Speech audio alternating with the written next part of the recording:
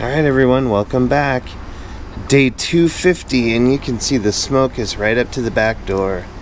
This is the worst it's been yet. It smells just like a campfire. It's ridiculous.